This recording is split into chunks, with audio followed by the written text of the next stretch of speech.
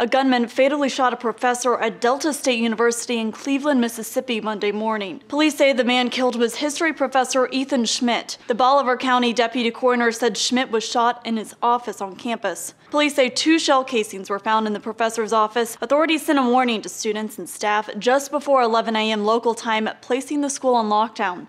The alert said a shooter was identified on campus. About 4,000 students attend the university, which is located in northwest Mississippi near the Arkansas state Line. For Newsy, I'm Katie Link.